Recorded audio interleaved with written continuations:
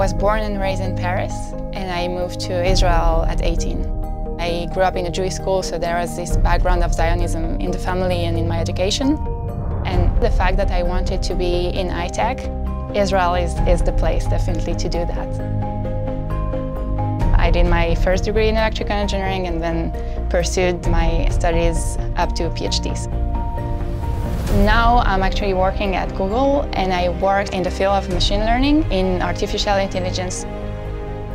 The goal is to have robots uh, be able to do stuff and to learn to do things uh, just like human beings.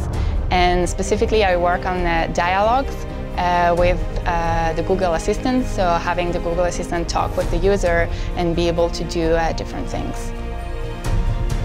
I'm one of the few electrical engineers in Google. Most people that get to Google do a degree in computer science.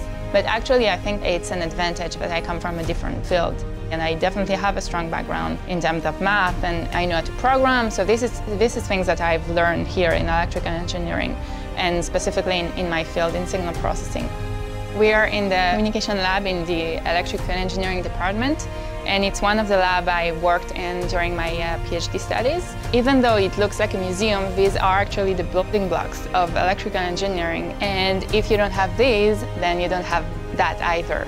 And actually, these machines uh, help us understand how communication works and how signals work.